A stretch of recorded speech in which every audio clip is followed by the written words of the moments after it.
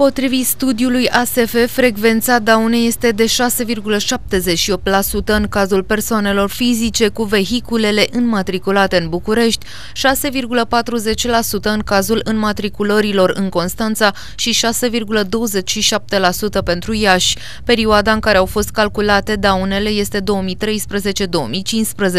În cazul Bucureștiului, una dintre explicațiile pentru frecvența accidentelor este traficul aglomerat și la Constanța Constanța se circulă intens, mai ales în timpul sezonului estival. Frecvențele minime ale daunelor s-au întâlnit în cazul mașinilor înmatriculate în Harghita 2,84%, Covasna 3,15%